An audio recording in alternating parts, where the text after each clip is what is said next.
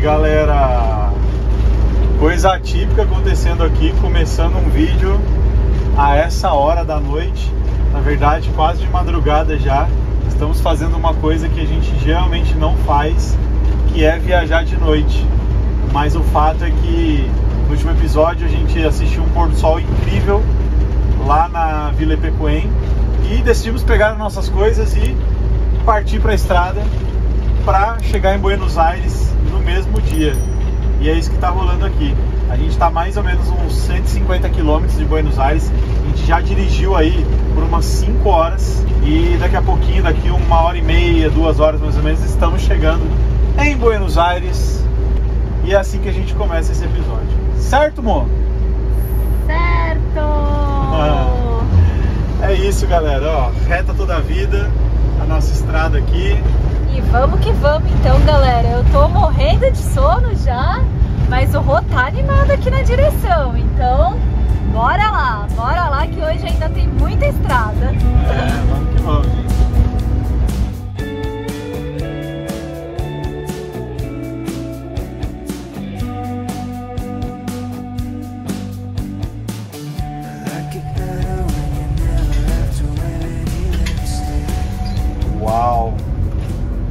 Se é dois ou três meses, pessoal, depois. Pagamos o nosso primeiro pedágio, ó. 120 pesos. O último foi lá em Mendoza. Uau! Estamos quase chegando, 80 quilômetros, gente. Vamos que vamos.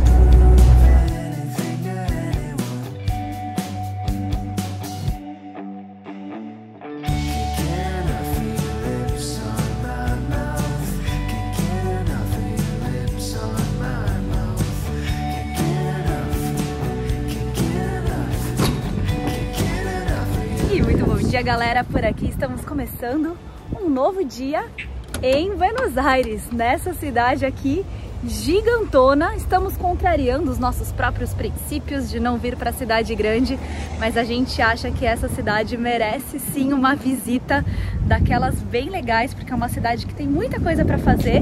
Não saberemos como serão esses dias por aqui, certo? Cidade que tem tanta coisa que a gente chegou aqui e a gente fica até meio perdido, né? Uma cidade tão grande. Mas hoje vai ser um dia assim um pouquinho mais de rotina, né? E a gente tá dormindo, pessoal, aqui no bairro que se chama Porto Madeiro, Puerto Madeiro, né? Um bairro bem legal. E nós viemos pra cá por quê? Porque sabíamos que tinham Sim, viajantes, tinham por viajantes aqui, né? É. O Vinícius do Sem Fronteiras, que se vocês já acompanham as nossas aventuras, ele tinha mandado a localização pra gente, falou que tava aqui. Tem uma guarita da polícia ali na frente, né, e tal. A gente chegou de noite, parecia um lugar tão escuro, né, enfim. Mas o lugar é lindo, gente. É muito lindo. bonito mesmo. E tem mais brasileiros, E né? tem mais brasileiros. Vamos passando por aqui, ó. Ali tá a nossa casinha. Aqui tem o pessoal do Fugindo da Rotina. Não sei se estão ali dentro. Aqui também, ó, tem mais brasileiro. Dá um oi aqui. E aí? Bom dia. Boa tarde, a gente almoçou. Boa tarde já. Nossa, a gente acorda tarde. Ali na frente também, ó, tem a, a meninas da Kombi. É, chegaram ontem à noite, eu acho. E aqui, Ó quem cadê tá ele? Cadê ele? Olha nós de novo aí. Não larga esses dois. né? É, o pessoal, que, pra quem não acompanhou os vídeos antigos nossos aí, o Vinícius e a Gabi, eles ó, viajaram um tempão com a gente, entramos junto na Argentina, fizemos vários lugares. E esse cara aqui, ele salvou a gente de uns probleminhas elétricos que a gente tava tendo na nossa bateria, a gente não tava sabendo resolver, não tava identificando. Então, ó, viemos encontrar de novo, né? Estamos com os amigos. O que, que você tá fazendo sozinho? Cadê a Gabi? É, cadê a Gabi? Essa é a pergunta. A Gabi acabou voltando pro Brasil, porque ela teve que voltar ao trabalho. E eu fiquei aqui em Buenos Aires mais uns dias, porque a gente focou aqui na produção do nosso curso. A gente está gravando aqui um curso de elétrica para motorhome, que é um curso que é para pessoas que estão querendo construir e para pessoas que já têm motorhome e querem fazer manutenção.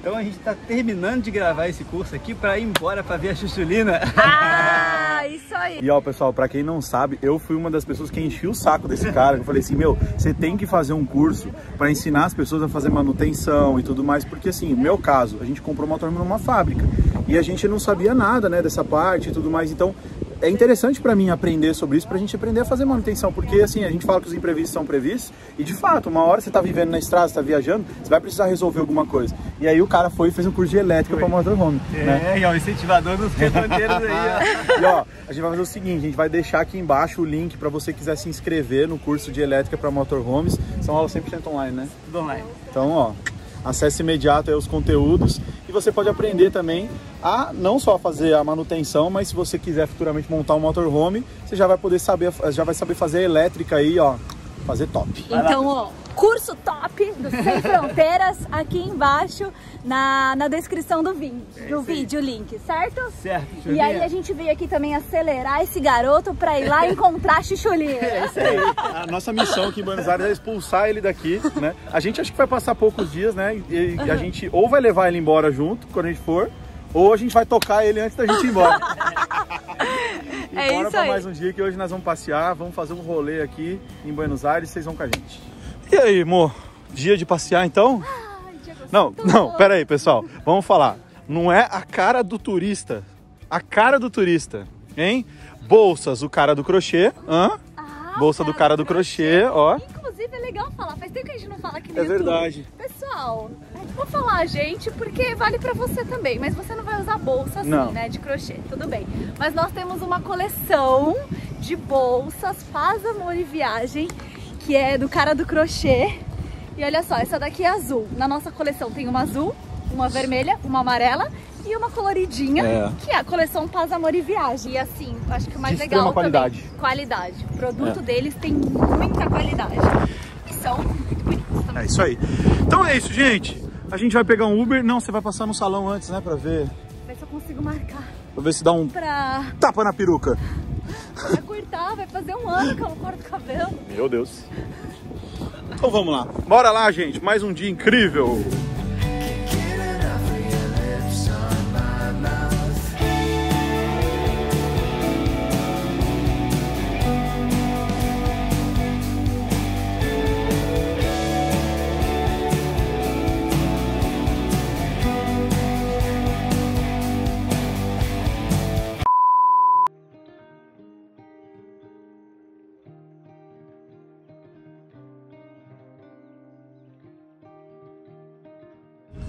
Pessoal, a gente tá dentro de um Uber aqui e não na melhor das circunstâncias. Acabou de acontecer uma coisa péssima.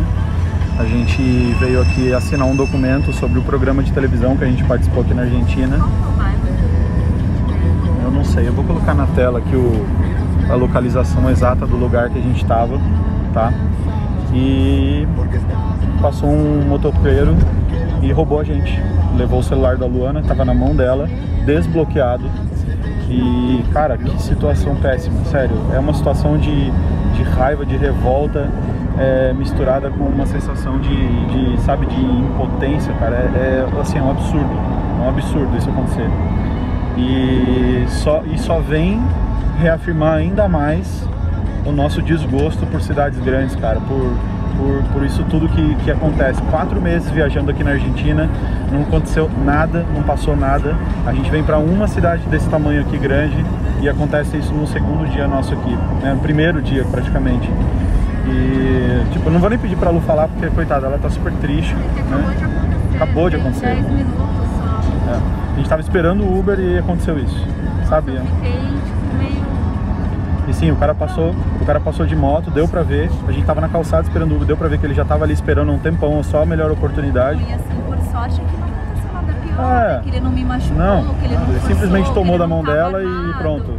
Ele só tava escrevendo, ele tava digitando no WhatsApp, É, e aí do nada, é isso, gente. Foi isso que aconteceu. Prejuízo, né? E, enfim. Hum. É isso, pessoal. Eu espero que vocês entendam a nossa frustração. Não sei nem se a gente vai gravar mais hoje. A gente simplesmente tá assim, super desanimado. Então. Coisas que acontecem, né? Mas o que a Lu falou, o que importa é que ela tá bem, a gente tá bem. É. É isso. É isso, né, irmão? Aí, galera, ó. Pra esfriar a cabeça, né, amor? Cabeça, nada melhor do que um sorvetinho, É, certo? viemos aqui pra Rua Florida, né? É isso que eu ia falar, a gente acabou vindo aqui para Galerias Pacífico, na Rua Florida. Almoçamos por aqui. Continuamos aqui conversando, né? Ah, o casal chegou É. aqui também. Saindo da rotina. E a gente tá tentando agora fazer. Fugindo da Fugindo da rotina. rotina, perdão. E a gente tá tentando agora fazer uma transferência do Western Union, mas bloquearam minha conta pra ver se a gente consegue comprar outro celular. E assim estamos, né? É, Resolvendo as burocracias. Consigo falar um pouquinho melhor. Não fiquei assim, tipo, ah, meu Deus. Eu sei que eu dei mole também, né? A gente tá numa cidade grande, tava pensando que eu ainda tava, sei lá, no sul da Argentina, em El Calafate, em Vidia Perruênia, e aqui não é um lugar assim. Tem que ficar muito ligado, sim. Várias pessoas já tinham alertado a gente. A gente já passou uma situação a aqui. gente já tinha passado já roubaram minha carteira bem aqui. ruim aqui Há cinco anos atrás. Acho que não convém falar agora, mas é assunto para uma live, É. né? Sobre essa questão de segurança. Eu dei mole, eu sei disso, mas é uma situação que ninguém quer passar por isso, pessoal. Eu tava com meu celular e do nada levaram. E é uma sensação de incapacidade. Impotência. Incapacidade. Total, e de revolta. nada. Isso. É uma situação assim bem ruim É, que a gente não deseja pra ninguém, lógico, mas que pode acontecer com qualquer um. É, isso aí. né? é isso aí, Vamos gente. tomar um Vamos refrescar aqui a, Vamos a a cuca. deles, vamos É. mostrar aqui o casal. Vamos mostrar esses dois aqui, ó. E aí? E aí? Aqui, ó. Apresentem-se, quem são vocês? Eu sou Thalita. E eu sou o Gustavo. Aí, ó, pessoal. Fugindo da rotina. É isso aí, a gente vai deixar o arroba deles aqui. E é isso. Eles estão direto na estrada tem um mês, mais ou menos. É, fazer um mês agora. Kombi, dois anos viajando. E vão rodar bastante a Argentina. Vamos pro chuar. E já estão aprendendo com os nossos, nossos erros aqui. Não dei mole com o celular, olha lá. Boa.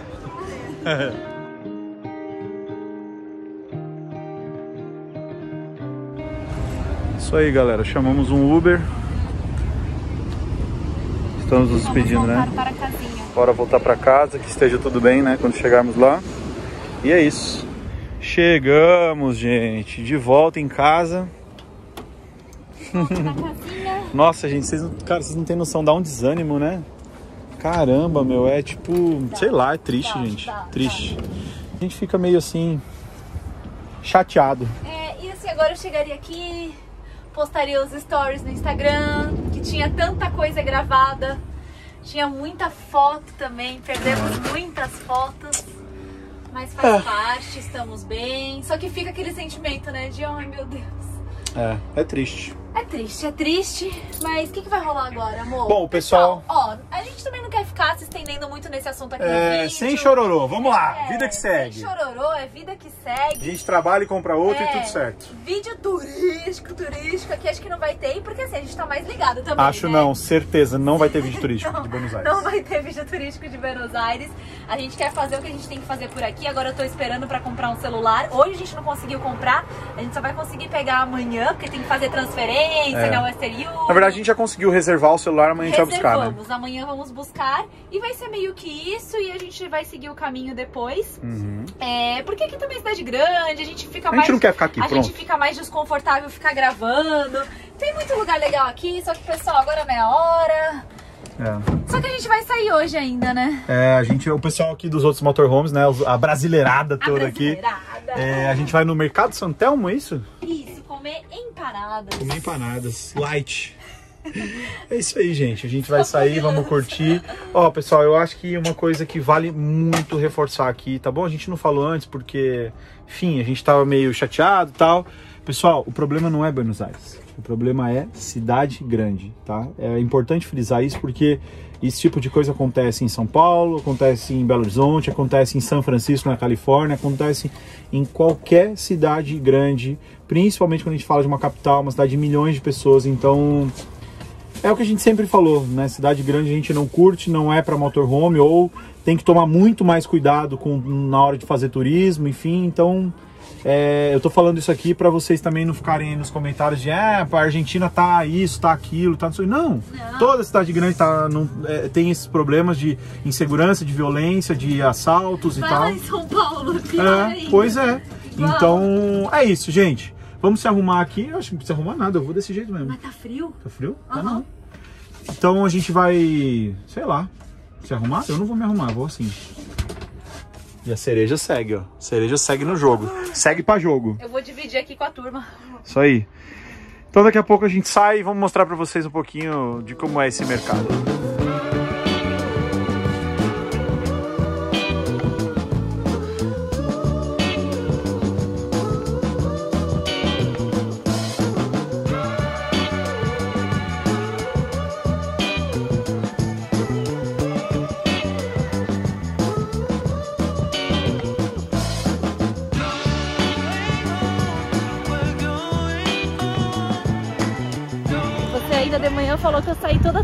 Turista, né? Tava Toda com bolsa e toda tal. colorida, não, tava tipo, Não. eu sou turista. Agora já mudei um pouquinho de roupa. Mas já... continuou, não aprendeu muito não. Mas ó, tô sem bolsa, sem celular.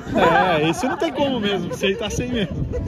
Ó, pronto. Tá certo.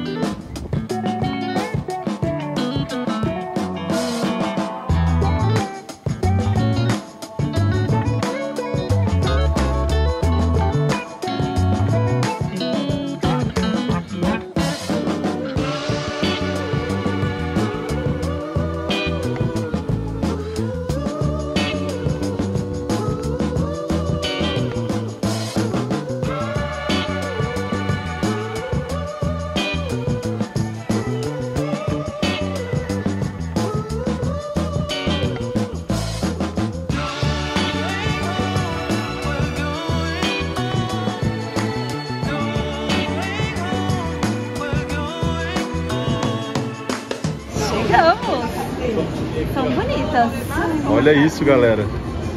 Empanadas caseiras. Vamos provar aqui agora, hein? Vai ser degustação de empanadas.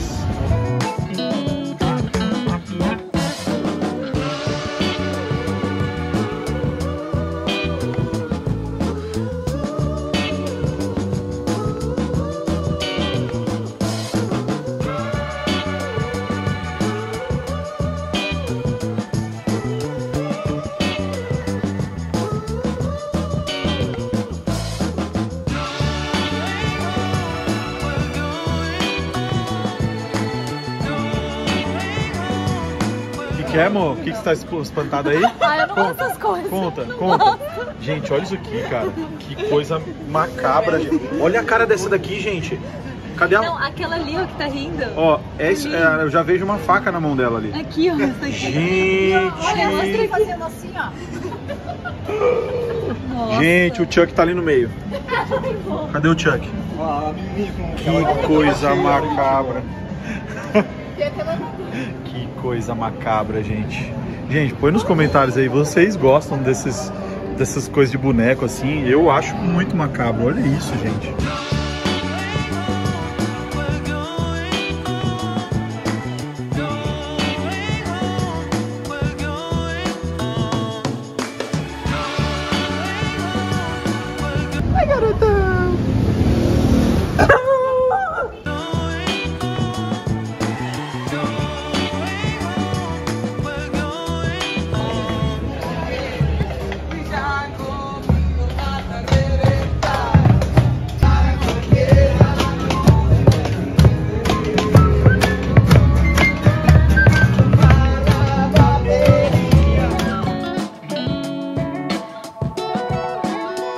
Pronto, galera, mais um restaurante, né? Tomamos mais uma cervejinha. Mais uma cervejinha. Hoje foi dia de relax total, né, amor? Ai, total. A gente estava conversando agora ali, né, pessoal? O pessoal falou, ah, que dia triste, né? A gente falou, não, pessoal, não foi um dia triste.